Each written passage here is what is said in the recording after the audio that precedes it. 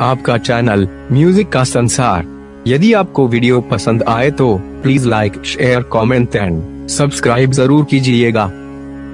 सुलताल, मात्रा दस, विभाग पाँच, ताली एक, पाँच, और सात पर, तथा खाली तीन और नौ पर, ठेका, धा धा, दिन, ता, किट, धा, तेटे, कत, गदी, गन, दूसरा प्रकार, ठेका, धा, दिन, ता, धा, दिन, ता, तेटे, कत गदी, गन।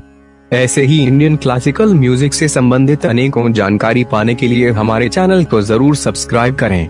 कृपया कमेंट ज़रूर करें। धन्यवाद। परिचय। सुलताल को कुछ लोग सुल्फाक ताल भी कहते हैं। यह पखावज की ताल है। इसका प्रयोग ध्रुपद मन की गायन शैली के साथ संगत करने में तथा पखावज पर स्वतंत्र वादन में किया जाता है।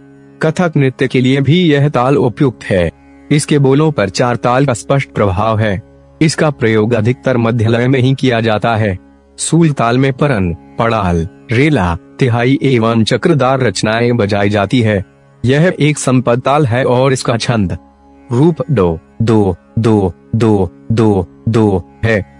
अगर यह वीडियो पसंद आया हो तो सब्सक्राइब करें और शेयर करें अपने साथियों के संग। म्यूज़िक का संसार में बने रहने के लिए आपका दिल से धन्यवाद। Share the knowledge.